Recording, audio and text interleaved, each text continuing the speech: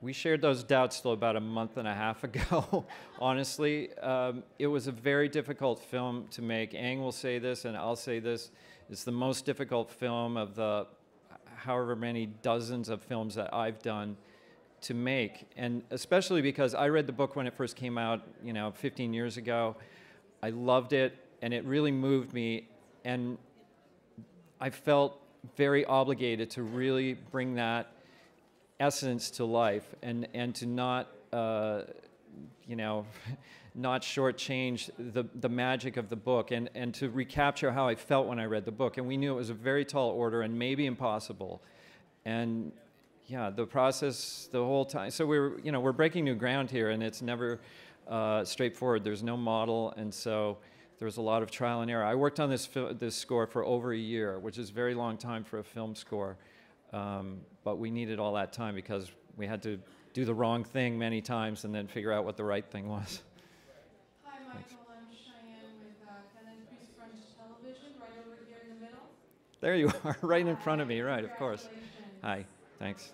Um, as a composer, who are your biggest musical influences?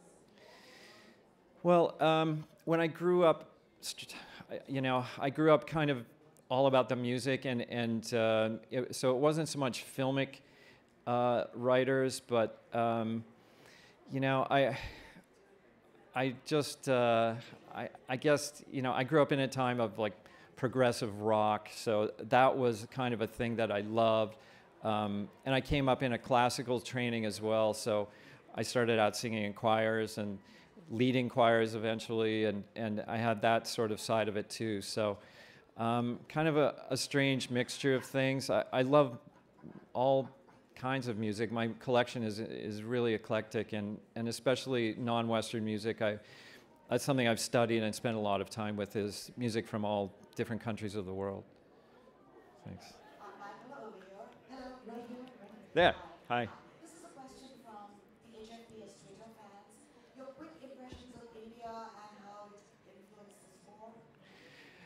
Well, um, I've I've been going to India for decades now to work and and for fun and and my wife is Indian, so we have family there.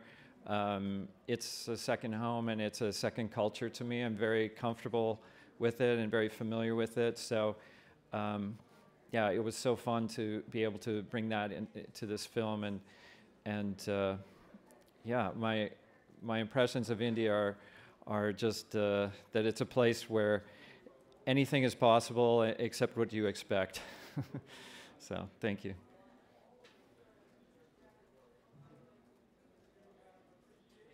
All right. Thank you very much, everyone. Thanks.